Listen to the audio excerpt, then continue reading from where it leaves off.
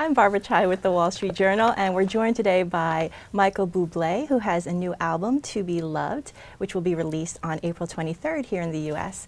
Thanks for joining us, Michael. Thank you, Barbara. How are Thanks you? for having me. I'm really good, thank you. Let's start with your album. Uh, Sure. one of the original songs and the first song to be released is called It's a Beautiful Day, and it is a beautiful day today. so, can you tell us about the inspiration for this song? Well, I think it'll be surprising to people because the song is not about love or romance. It's about revenge. And uh, the truth is, I wanted to write a song to give people hope. All those people that have been dumped by that jerk of a girlfriend or a boyfriend or a husband or a wife that they have, and realize that after they had their heart broken, that it was the best thing that ever happened for them because this person truly sucked. uh, it really is. That's, that's what it's about. I mean, the, my favorite line of the song is, uh, um, "I'm glad that you're the one that got away." You know, the, the truth is, it's a beautiful day because this person is out of your life. And although it might sound really happy and, and really bright, um, it's kind of like a revenge tune, which is really nice for me because I've done so many like "I love you" and "I miss you, my little snooky snooky" and you know all of those kind of romantic kind of things. It was nice to write a song with a little bit of edge. Was this inspired by a heartbreak in the past? You know what? Yes, um, my relationship with Harry Styles. Uh, snooky, snooky. the way that that damn Taylor Swift took him from me. That little, anyway, minx.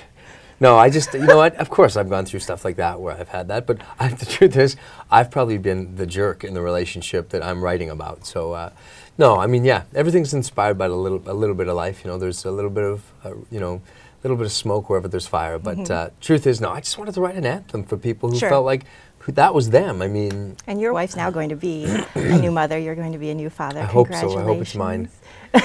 you never know. You didn't take the test. You never know. Yeah. Um, yeah, it's awesome. I mean, she's four months, and uh, I've never had a kid before.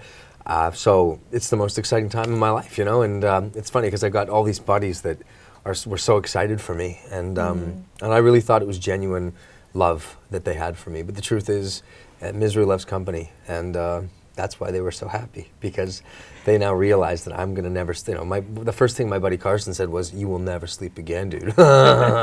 Welcome to my life, man." And now uh, you understand. yeah, he said, now you'll understand why there's poop all over the place in my house and blah, blah, blah. So uh, it's great. I'm looking forward to all of it. I'm looking forward to the drama and the happiness. And, uh, you know, it's a really exciting time for me and my family. How has the knowledge that you're starting a family changed your outlook on your music, both as your art and as your career? Like I said, I think it makes you brave. I think that um, you start to worry less about what people think and, and really about what's important. And so uh, I found a great freedom in this happiness that I had, this new contentment. Um, I think probably um, a fulfillment that I'd never had before. And so with my music, it was like, you know what, I'm going to be free. I'm going to do what I want. I'm going to take some risks. I'm going to have some fun. And um, and I think one thing that the people will hear when they hear this record is that it's a different record. I don't know that they'll be able to put their finger on why it's different, but I think that when they close their eyes, they're going to hear me smiling. So you also, I'm just going to list some of the Sure. the songs that you feature on this new album. You have hits by the Bee Gees, Yeah. "To Love Somebody," and Yeah. the Jackson Five, "Who's Loving You," and Elvis. Mm-hmm.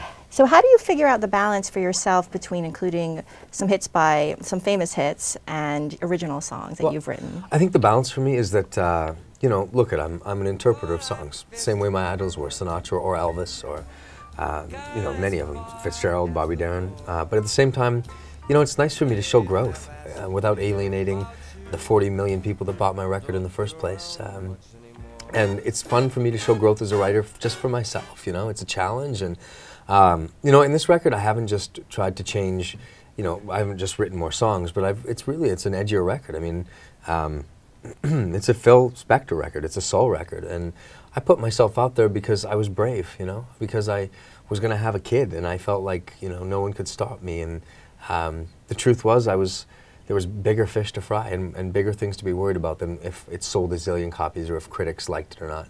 Um, and the truth is, because of that bravery and because of that lack of panic, it turned out to be the best record I've ever made, said every artist you ever asked about their next record.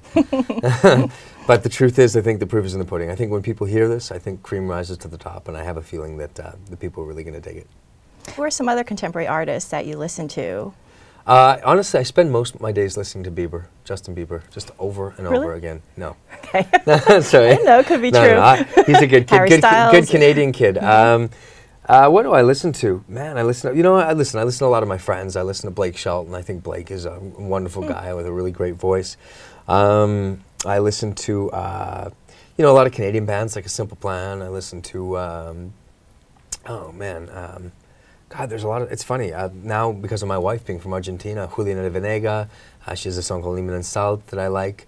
Um, uh, Maná is another group I like. Um, I really, really all kinds of music. I mean, everything from ACDC to Nazareth to to Eminem to you know Michael Jackson. I just love good music. I, I, really don't care where it's from or who sings it or when, just as long as it's cool and it has a good groove and moves me. I love it don't get around much anymore.